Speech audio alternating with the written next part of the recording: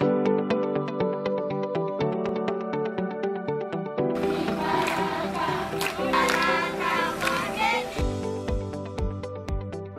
name is Grace Gavani Pere, Deputy Tunga Nkaimurunya Primary School.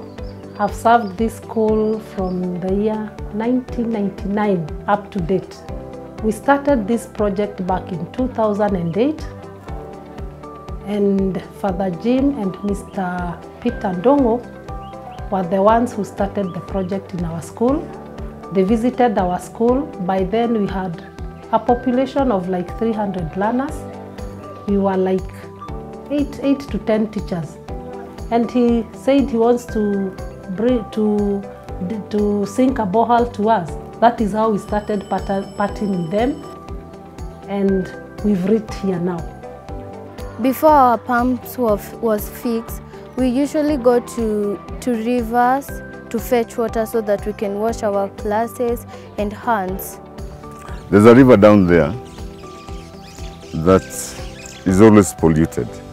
Davis and Shirtliff first uh, came and rehabilitated the pump with electric, but later, after the problems we went through as the school of electricity bills, the school could not raise all that.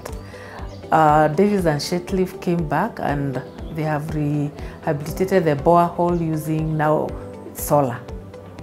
This will reduce electricity bill